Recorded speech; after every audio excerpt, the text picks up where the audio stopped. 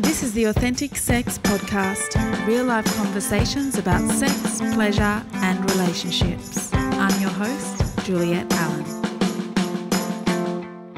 This episode of Authentic Sex is sponsored by the Juliet Pleasure Wand. The Juliet is a premium crystal pleasure wand designed to heighten your sexual energy, increase self love and self pleasure, expand your orgasmic experiences, and connect you to your true sexual essence. You can read more and purchase your own crystal wand by visiting my website www.juliet-allen.com. Welcome to Authentic Sex, Kate. I am so excited for this conversation. You are a dear friend and my naturopath who has um, been helping me so much since Magnolia was born, actually. Um, so deeply grateful for you and everything that you have brought to our family and all the support that you gave us when she was born at 30 weeks. Um, and here we are. I am just excited to Yeah. to um have this conversation. So thanks. Thanks for having me Would you like to tell us on the chat. yeah. You're welcome. Um, would you like to tell everyone listening a bit about you, like you know what a bit about where you live, um, what you're doing for a living, so they can learn more about why you're here. Sure. Um, so I live in Lutruwita and I've been here now for probably seven years. I was a transplant from Queensland down here. And um, poof, what I do in the world, gosh, I wear a lot of hats, don't we all? Um, my main role is mother, I guess. But after that, I've been a clinical naturopath now for about probably 16 years. Um, in the last seven of those years, I've been working pretty specifically in the gut health field. Um, so delving in to, gosh, there's unfortunately there's no end of work in that field because there's a, a lot of gut issues out there. And yeah, so that's kind of been my focus um, clinically for the last seven years. But you know, alongside that, trying to uh, raise good little humans and be a, a present and good partner. So, yeah, that's a little bit about where I'm at. Yeah. Mm, thank you. So I, um, for those listening, I've got Kate on today to talk specifically about gut health and how that relates to our sexual health.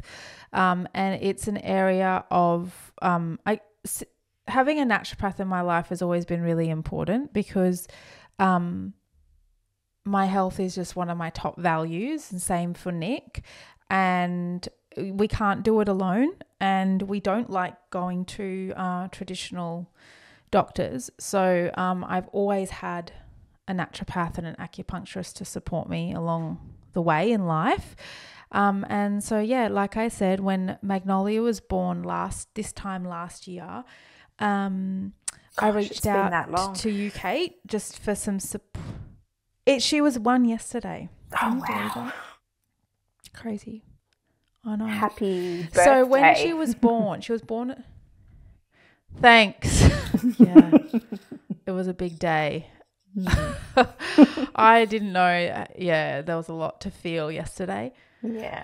Um, yeah, but when she was born, um, at 30 weeks, unexpectedly, we were in the hospital system, and um, because she was born in hospital because she was so young, and they um wanted to give her all sorts of extra added bonus um pills and drugs and all sorts as a premature baby Hmm. um, even though she was actually really quite healthy and um, she was a she was a little fighter. Like she was just she came out crying, pink, healthy. Anyway, I didn't intend on going into this, but I am. So um, intuitive. I knew we needed a naturopath, but we didn't need any old naturopath. We needed a naturopath who specifically could help us with a premature baby now I've got about four friends who are naturopaths, so there's no shortage of um, wisdom in my community that I can, you know, draw on and and reach out to. But I just intuitively picked up the phone and, you know, said to you, Kate, like, hey, this is what the fuck's going down. I need help. And you were just so, you were the perfect person and you helped us navigate um, all the different things that they wanted to give her, and even down to like the iron supplement that was just a piece of shit that they wanted to put into her. And you gave us a better, you know, offered us a different solution, a different product, um, all the things. So deeply, deeply grateful for your support and. Um, and then you know we moved on to her gut health and um, you got us, you know, recommended that we got her gut, her poo tested basically just to see what was going on in her gut because it's just such an important yeah thing to be on top of. yeah. I mean, mm. Yeah, I was happy that I could provide that support when it was necessary. It's sometimes overwhelming and tricky navigating I guess the the medical system and kind of having someone to help advocate for you and look at what's really necessary and not, and with you know holding the health of the child as the most important thing. So, yeah, look, um, mm. infant gut health is important. Um, given you know it can also set the mm. stage for what our gut health is like later in life. So you know, when I'm kind of digging around in people's mm. health history and I want to learn about, you know, what trajectory has their gut been on, I kind of ask, you know, what was their birth style? Were they breastfed? You know, were they preemie? Were they on time? Those mm. sorts of things matter because it gives you a little bit of insight to potentially what trajectory their gut health has taken. Um, and quite often, kind of mm. looking at a person's background, health history, across their lifetime can tell you quite a bit about potentially where things might have um, not necessarily gone wrong, but taken a different course with their gut health. So, yeah, we had a little look at um, mm. Magnolia's gut, and thankfully it was looking good. And, you know, yeah, think, yeah, yeah, and um, you know, the breastfeeding and the impact that that has on the development of the infant microbiome is really important. And so, keeping that process mm-hmm. going and honoring it for as long as, as possible is an important step for maturation of the gut. And then also, you know, the introduction of solids and how and when that happens, and all those sorts of factors matter. So, yeah, it's a it's a it's a gut mm. journey from day dot, I guess. But I've got a very gut lens on life, so yeah. Mm. So a gut lens. A gut so lens. as you may have gathered, for those listening, we're going we're going to talk about the gut, um, because it's just so important. It's like the foundation, uh, in my opinion. One yeah. of the foundations of great health is, um, yeah, and you're the expert on that in my life. So Let's talk about gut health in general first, and then let's move on to, or potentially we'll just naturally move on to like how that impacts our sexual health. And um, in particular, I'd love to talk about candida, thrush, like the, you know, a lot of clients I see um, and women that I speak to um, experience a lot of thrush um, and it, you know, it comes and goes in their lives. And I yeah. experienced it when in my 20s quite a bit. And then it have never had it since. But anyway, I'd love love to talk about that because I think what you have to share could change so many women's lives. Because you know, yeah. you got thrush, you're itchy. Yep. You're thrushy, and it impacts our sex lives in a big way. So totally. yeah, um, you and take the lead here. Let's let's go. yeah, yeah. You're not going to be able to um, shut me out now. so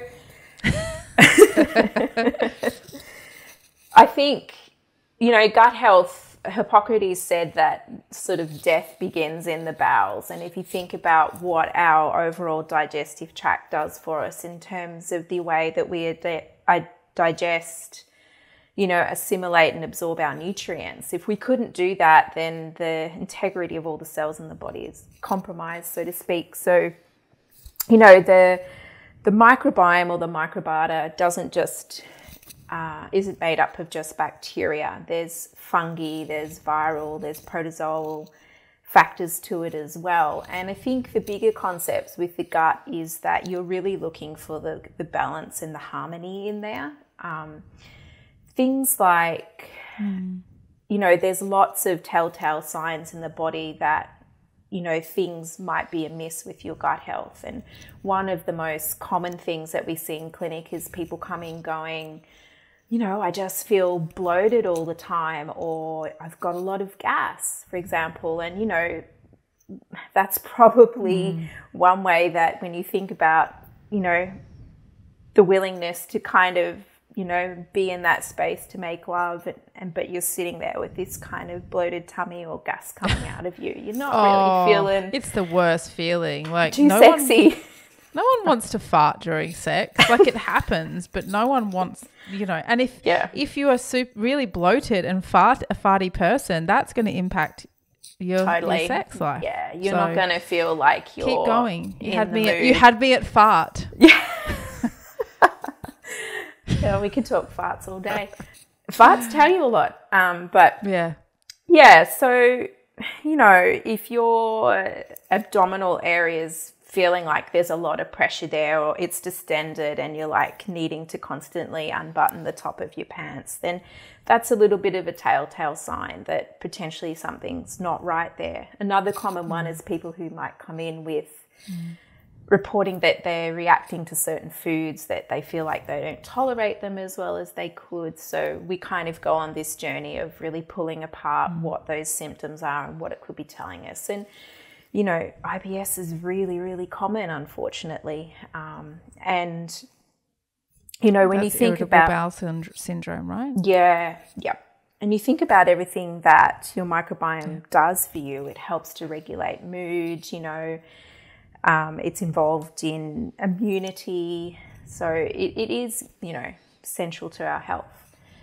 So, yeah, I, mm. I, work a lot in helping to kind of unravel a little bit about what could actually be going wrong in the gut. And then we look at ways to modify our lifestyle, our dietary habits to help get people back on track. And again, the health of the gut um, is more about the harmony and the balance in there. It's kind of like gardening a mm. little bit when you think about the health of the soil really determines how well your veggies or your plants grow. A little bit kind of similar in the gut. If that terrain mm. in there is not great, then you're likely to create an environment where more unfavorable microbes flourish instead of those beneficial ones. And we want those beneficial microbes to be happy because, again, they do a lot for us. There's more bacteria in your gut than there is sort of cells in your body, so it's like an organ in itself.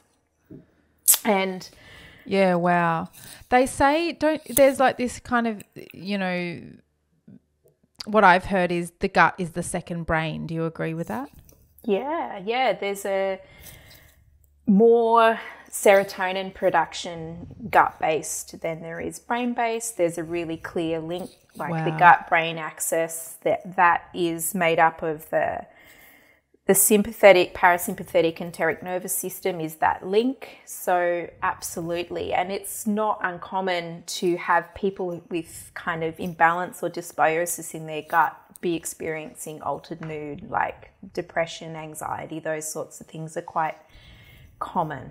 Um, mm. So yes, another reason Imagine why you want to look people, after your gut more health. people knew that. Yeah, look, I think it's yeah it's starting yeah. to get the word is sort of starting to become uh, more well known. Those types of concepts, I think, are filtering out. So yeah, there is mm. quite a lot of work that you can do, and I think you know, food really is your medicine.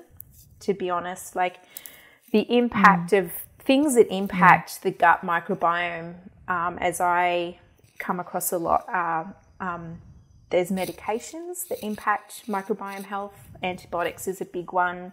Non-steroidal anti-inflammatory drugs. Mm. Um, oh gosh, there's a big list. Mm. I could go on, but there's there um a couple of the two that yeah. spring to mind. They're some of so, the most common ones, right? Yeah, and mm. other ones like acid inhibiting medications. Like there's a whole gamut of people walking around with reflux that take you know acid inhibiting medication, which is really problematic for our digestive tracts. Um, probably the other one that has mm. the biggest influence is diet. I mean when we take a step back and think about yeah. how much our food system is being industrialized, um, it's really a no brainer that there's mm. a lot of people with gut health issues. You know, your body responds to how yeah. you fuel it and the quality of the fuel that you put in it. So, dietary factors yeah. are huge in gut health. Can I just yeah, yeah. I just wanted to kind of, I'm just reflecting upon my own gut health and just wanted to share how when I was in my 20s, early 30s, I had a lot of um, bloating in my tummy that I couldn't figure out. Hmm. And um, I just always felt a bit like crampy and tight in there.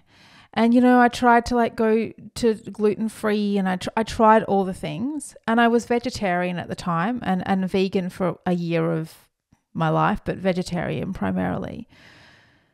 Um, so what that meant was that my diet consisted of like a lot of canned food and um tofu and that was about it and then veggies lots of lots of fruit. I was never full. I was always just bloated and just but but hungry, but it was just a shit time really. Um and um then when so obviously reflecting I'm like god, my gut health must have been pretty fucked. But then when I um started eating meat after like 20 years of not eating it, um I started eating way more f- just fresh produce and like um just kind of fresh protein basically. Like mm. not not no yep. not so much processed stuff. And my whole all my bloating disappeared and has never ever returned. Like i never feel bloated.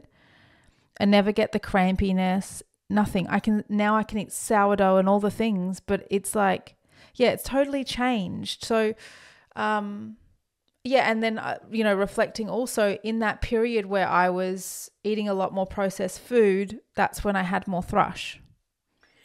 Yeah, and I any think any um thrush, you know, what's your thoughts on that? Yeah, so like as well as the gut microbiome, we've got the vaginal microbiome, and that's kind of like a whole mm.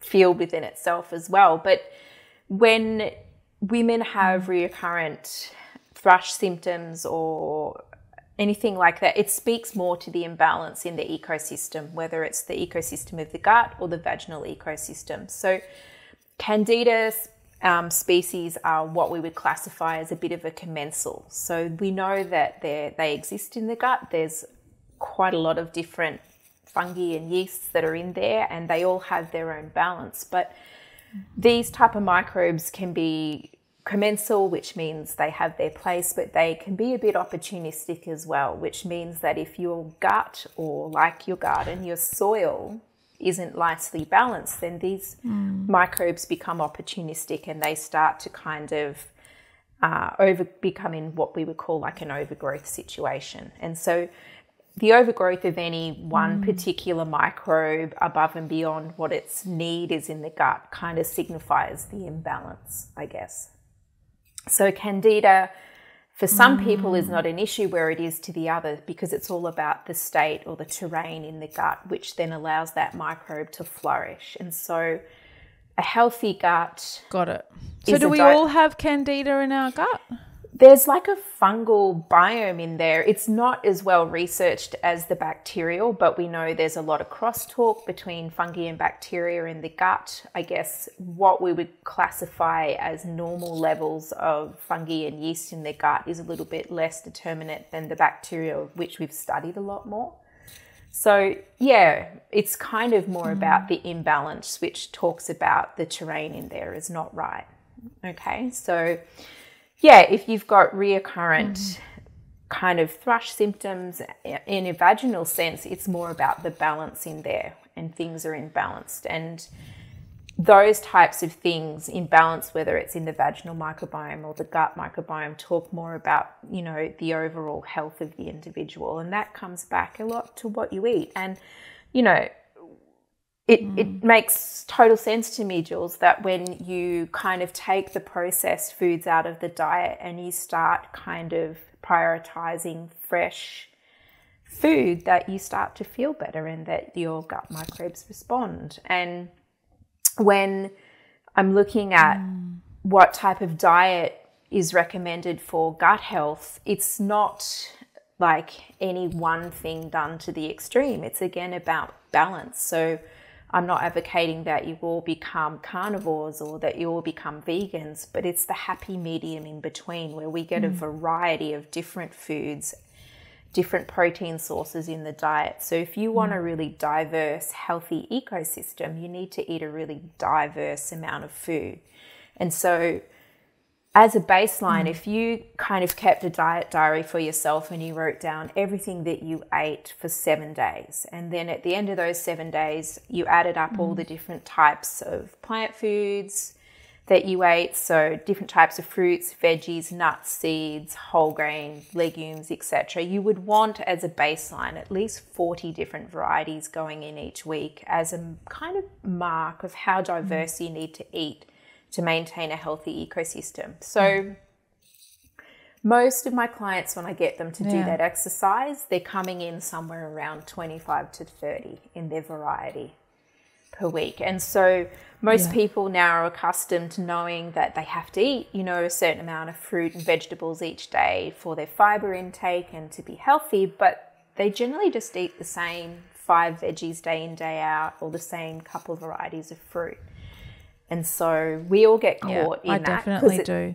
yeah, we get we get caught there because it's easy and we kind of have our recipes yeah. that we like to cook, but what I try and encourage mm. my clients to do is to, you know, look at the hierarchy of food. And what I mean by that is like, where do you put your food budget? What do you place emphasis of where you spend money and where you save money with your food budget? And I like to encourage people where possible mm. to shop at farmers markets. Speak to the people who grow your food. Look at the environment that your food is grown in because it will impact the overall nutrient density of the food and then the again the impact mm. on the mm. body. So going to your farmers markets also encourages just like our environment impacts us, right?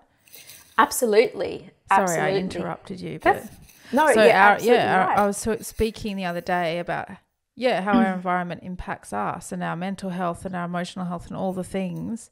Yeah. So yeah, that's a really good. No one's ever framed that f- for me about my food, like the environment that it's grown in impacts. Yeah. You know, Speak to a farmer who's happy. we put in our body. Yeah, who cares about the food they grow. Yeah. And the flow and effect mm. of that. You know, I even encourage people just looking at the the way we eat. Do we eat standing up at the kitchen bench while we're organizing five different kids to pack their bags and get out the door? Or do we make a calm space where we sit mm. down and we chew properly? And even giving thanks to the food that we're eating yeah. as well. It sounds woo woo, but there's mm. a lot mm. in it. So the environment in which we eat will have a big impact on how the food is assimilated as well. I have to interrupt this episode to let you know that today is sponsored by Pleasure School. Pleasure School is a monthly membership where together we study intimacy, conscious connections, and how to embody our true sexual essence. Every month, students of Pleasure School access members only educational content across a wide range of formats, including written, audio, video, and guided home study. Pleasure School is led by myself, and I'm also joined by other teachers who are pioneering in the fields of sexuality, relationships, and holistic health. This is your chance to join a unique online school like no other in the world. Learn more and join Pleasure School at www.juliet-allen.com. That's J U L I E T hyphen A L L E N com. So the other yeah, thing about going nothing to... worse than just shoving a meal down your throat and then not being able and then being like what the fuck that was like such a delicious meal and I don't even remember eating it because I was scrolling through my phone or I was trying to manage the toddler or Yeah. you know work half Yeah. yeah. I've I've done that even with chocolate sometimes I'll buy like a delicious chocolate and then I'll realize I didn't enjoy that I just shoved it down my throat Yeah. Um, yeah. So it's yeah. bringing that kind of presence to eating, which, you know, we are being encouraged to bring a lot more presence in our life in general. So let's bring it to eating and let's really be Mm. grateful for the food that's on our plate. And yeah, our Mm. teenagers, because they're so hungry, they're growing, they just inhale food. Like I'll be sitting and eating and I'll turn and look and their, Mm. their plates are empty and I don't even think they've registered that they've had a meal. So it's really hard to get them to slow down. yeah They're ravenous most of the time. yeah yeah But what I was going to say about my teenager farmers markets and things like that is that you'll become more attuned to seasonal produce. So we mm. can't just eat that well the industrialization of our food system and the amount of food miles means that you can go into your big shiny supermarket any time of the year and pick up a tomato and eat it. But nine times out of ten if you're buying a tomato from a supermarket in the middle of winter it's not going to taste like a beautiful tomato because it's the wrong time of year so farmers markets, you will be more introduced to what's available seasonally, and when you start to rotate through what's available seasonally, you naturally start to diversify your diet. So, I think Yeah. that's a really Yeah. good for people. even know. finding you could find um we found a delivery service it's a local farmer who delivers a box of seasonal fruit and veg once a week and um so yeah it's you got to get used to eating that way because sometimes the box rocks up and i'm like oh but there's no sweet potato or like there's no this or you know like what i want to but then there's these random vegetables like radish that i haven't had for ages that i don't really love but i'm like nah it's seasonal like i need to roll with this because this is good. I'm getting variation in my diet rather than just buying the same stuff every week. Yeah.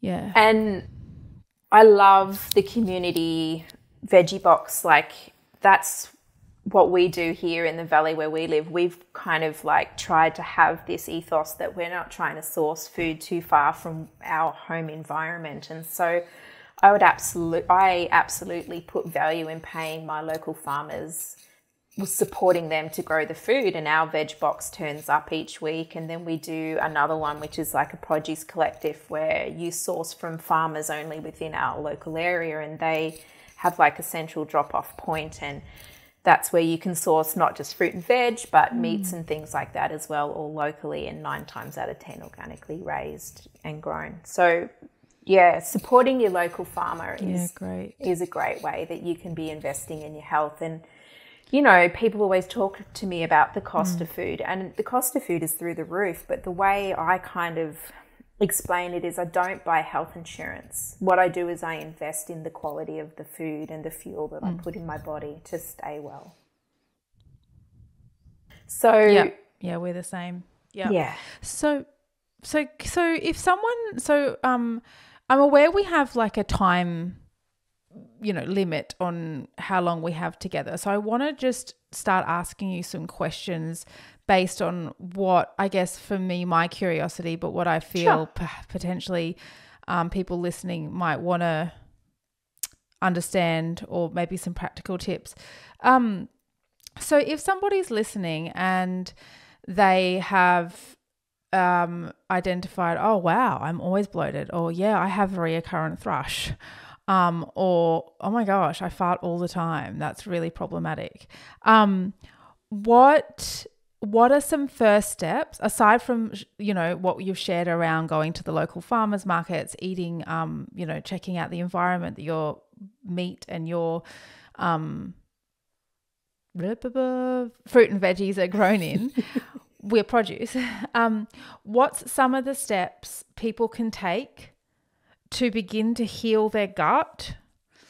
Um, and let's get specific too with the thrush stuff, like because you know there's going to be some women listening who are like, "I need to sort this out. It's time." What what do they do? Generally, if you're talking about recurrent vaginal thrush, I think there's some dietary factors there, you know, pulling back on the amount of refined sugar and that you have in your diet is the first big step there. Um, I would probably also. Is that because the sugar feeds the thrush or the the thrush eats the sugar?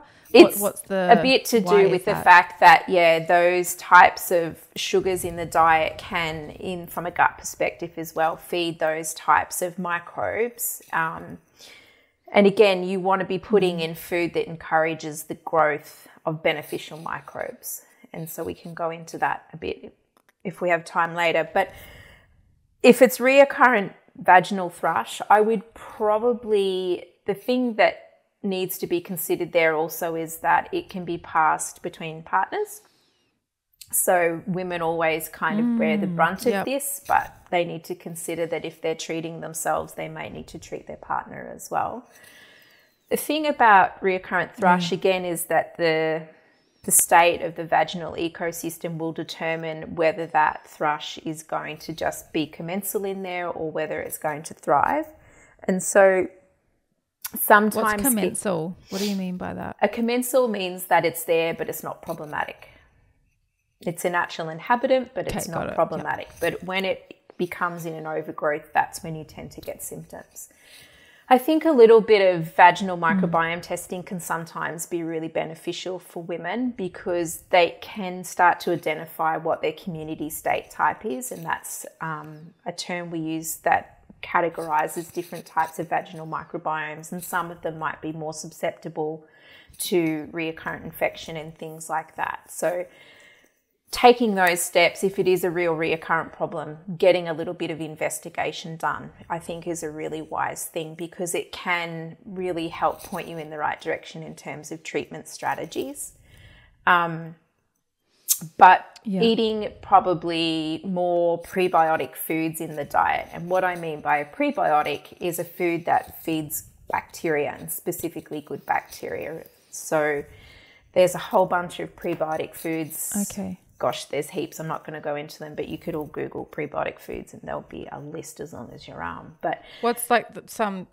What's the Classic, top five? Like what's okay. off the top of your head? Five prebiotic foods? So, um, polyphenols in the diet, which, if you think about foods that have that kind of deep purple, black, and red pigment, so think about all your berries, for example, think about, you know, plums, grapes, cranberries, raspberries, anything that has that deep kind of purple, black, or red pigment in the skin of it is going to contain polyphenols that are really beneficial for certain microbes within the gut we all want more of those in our diet. Yep. Um, okay. Another one is getting resistant starch in your diet. And so, resistant starch isn't that cool, not that sexy. Let's bring it back. so, things like you like your sweet potato. What's juice, that, like potatoes? But eating them cold. Mm. So, cooking mm. them and then maybe letting them go cold oh. and pop, popping them through your salad the next day. Yep. The act of cooking and letting it go cold. Why cold? because it forms a type of resistant starch, which is quite beneficial in the gut. You can do it with any type of whole grain or legume. So, you know, if you want to cook your chickpeas, let them go cold and pop them through your salad the next day, or cold rice, those sorts of things. Resistant mm. starch mm. has its place mm. in our diet along with our polyphenols. So, Prebiotic foods, okay. most of you are probably cool. already eating quite a few in your diet, but are not aware of it. But the reason they're important is because they provide fuel or food for these microbes within our ecosystems that we want to thrive. So it's kind of about selectively feeding up the right microbes.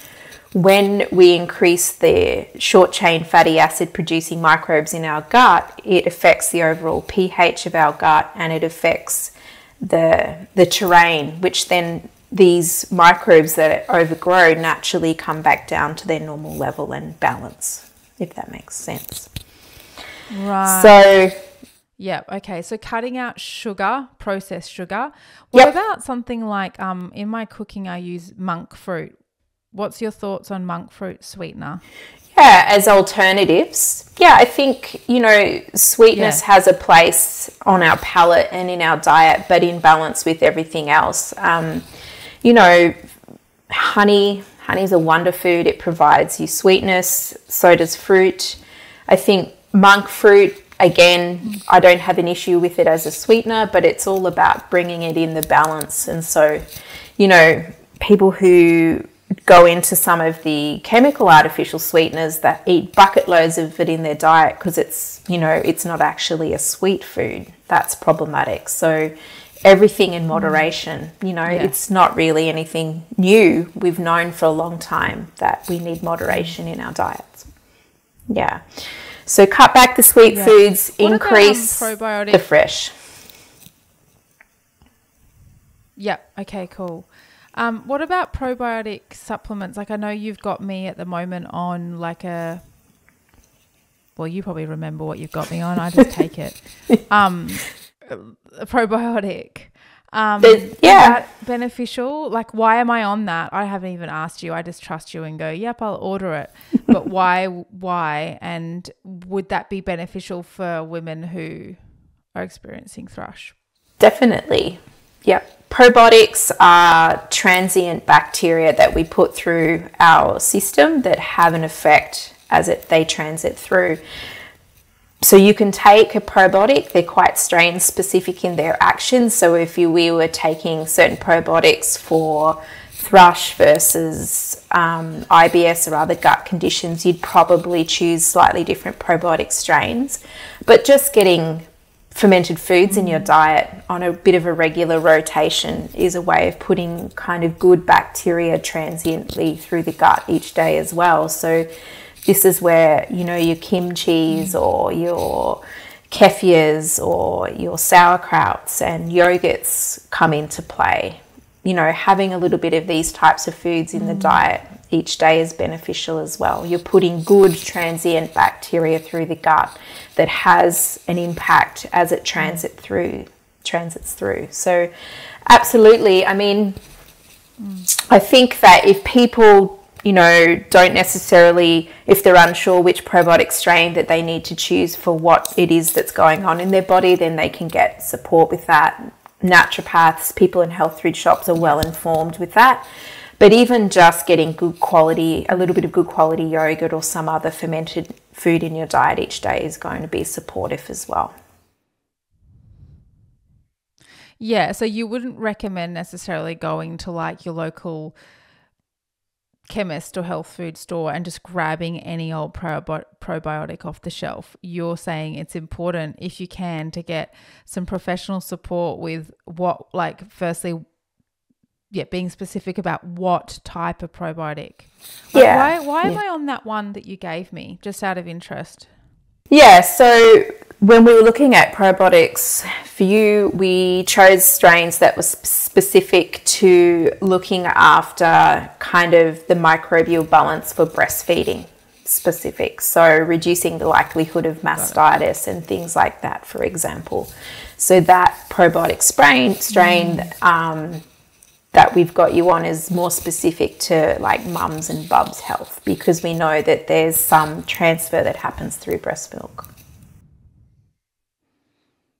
Yeah, cool. Okay. Um, all right. Well, there's some good tips. And I just recommend if you're listening, go to a naturopath.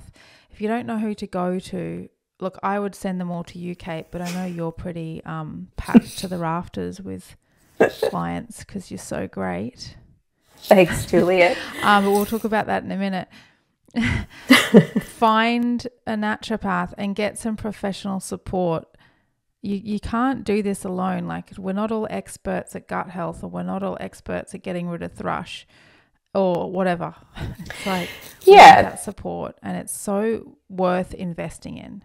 I think that if there's really kind of more signs of complex stuff going on in the gut, I would definitely seek specific support around that. If you just want to go, look, I can improve my gut health here generally, then you're more than equipped to go out and kind of make those dietary changes that are necessary. You know, really just comes back to the quality of the fuel mm. that you put in your body and how your microbes are going to respond to that fuel. So, you know, I think it's mm. also empowering for people to know that the impact of diet in what they in how they can change their health. Not everybody is going to want to seek out a naturopath for that, but they can just start by doing that simple look at how diverse is my diet. Yeah, cool. Um, an- another thing, I guess, that you mentioned was that our gut health impacts our mental health. Um, and then, you know, as a sexologist, I'm thinking, well, if our mental health isn't, you know, in tip top condition, um, that can impact our sex life in a huge way.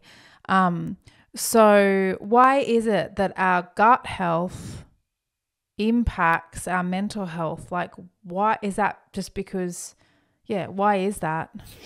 It's because there's, I guess, the enteric nervous system there, and there's this kind of bidirectional communication, and there's a lot of serotonin production in the gut, neurotransmitter production in the gut, and you know, gosh, there's a lot of factors, but one of the things that you can look at as well is that concept of leaky gut, which means that you've got bacterial byproducts from the gut that can permeate the gut wall, get more into systemic circulation, and those kind of endotoxins can also influence like inflammation or neural inflammation as well. So, you know, there's a lot of people that are running around with lowered mood and brain fog, and they don't always necessarily bring it back to the gut.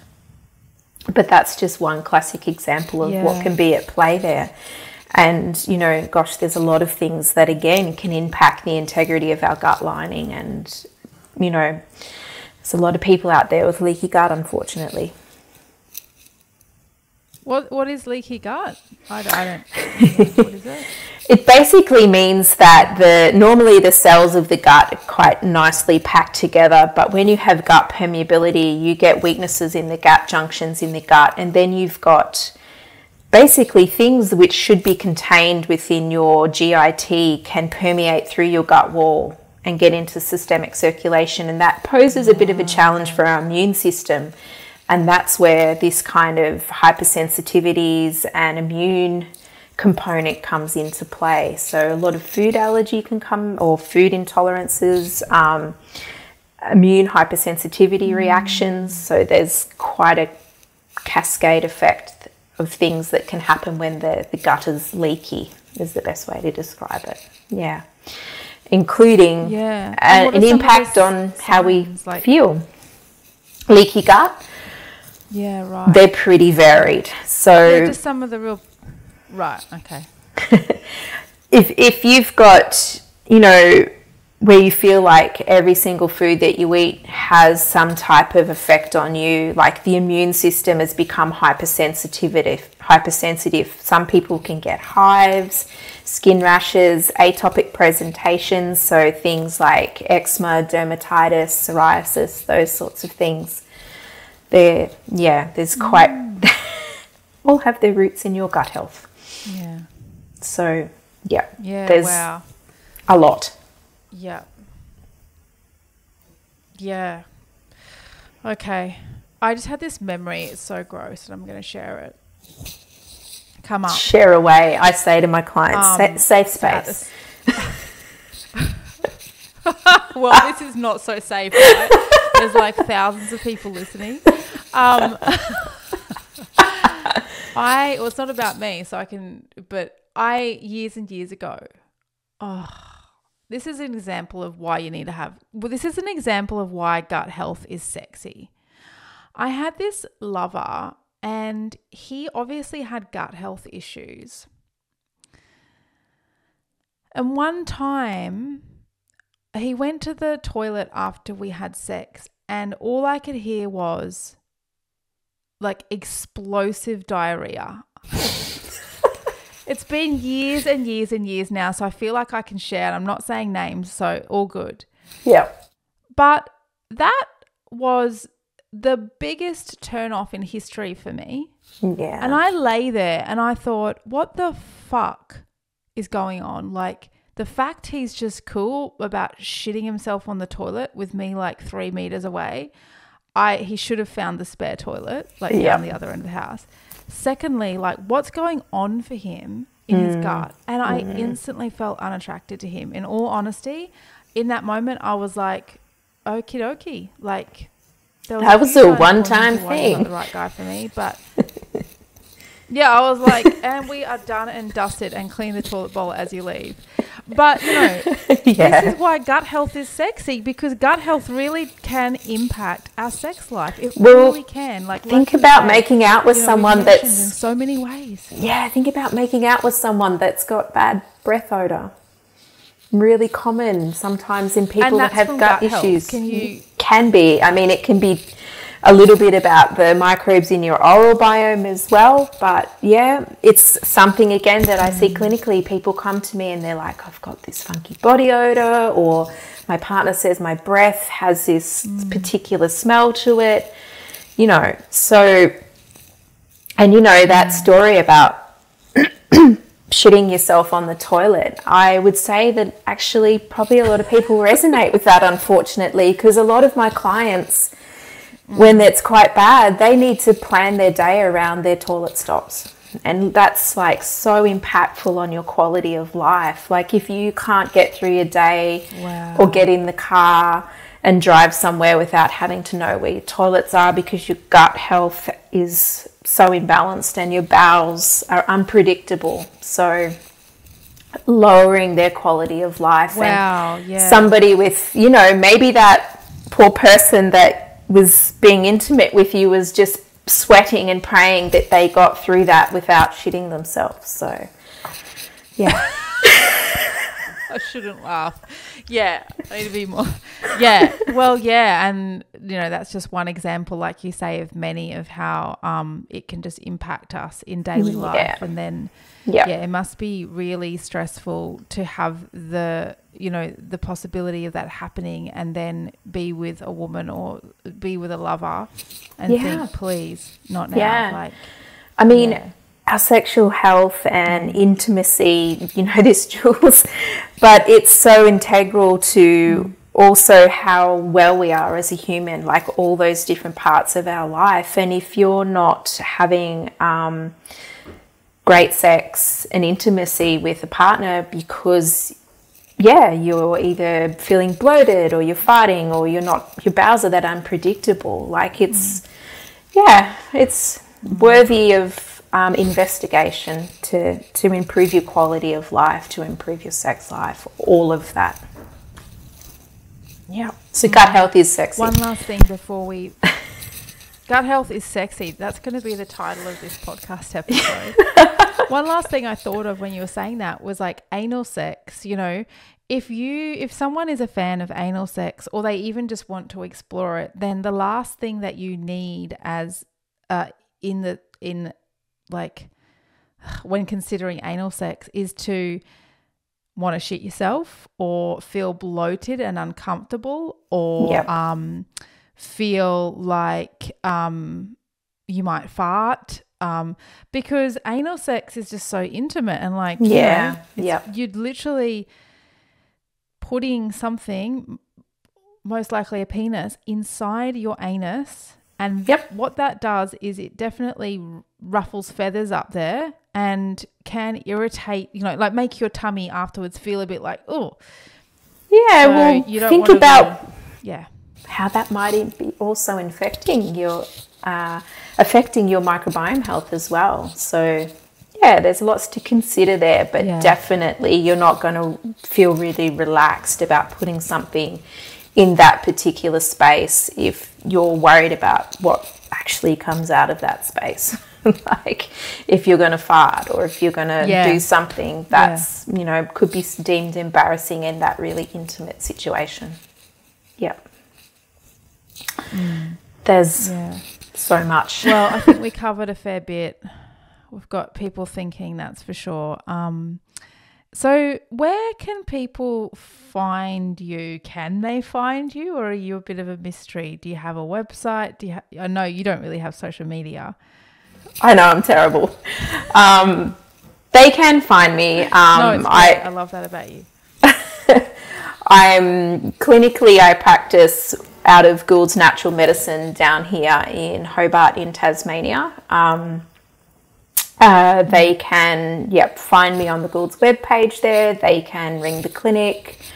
Um, yeah, look, I'm I'm a busy lady, and I'm forever grateful for that. But there's there's always um, space for newbies as well, and you know, I'm quite passionate about helping people live a better life, and the way that I do that at the moment is supporting their gut health and everything that comes with that. Yeah. Mm. Yeah, and you're just so great at it. You're so intelligent. You know so much, and you're so holistic, and you're just awesome. So yeah, I highly re- recommend you as a practitioner. Thanks, Juliet. That's lovely, and um, kudos to you as well because you know your reach with your podcast. Um, I'm 100% sure you're improving the sexual health of the nation. 100%. Yeah. Thanks. That's that's the um that's the goal. Yeah. Yeah. Thanks, Kate. Thanks, Juliet. Thank you for listening to this episode of the Authentic Sex Podcast. If you love the show, please hit follow wherever you are listening and leave me a review. And if you really, really, really loved it, please share the podcast with your friends, family, and social media followers. Doing this together as a community, we can make an impact and support the world to feel more sexually empowered and free, and just get the word out about these free resources. If you'd like to join me for daily updates and inspiration, you can find me on Instagram, which is at Juliet, J U L I E T underscore Allen, A L L E N. And you can also head on over to my website to join any of my offerings Pleasure School, the Intimacy Blueprint. Uh, and you can also treat yourself to the Juliet Pleasure Wand at www.juliet, J U L I E T, hyphen Allen, A L L E N dot com.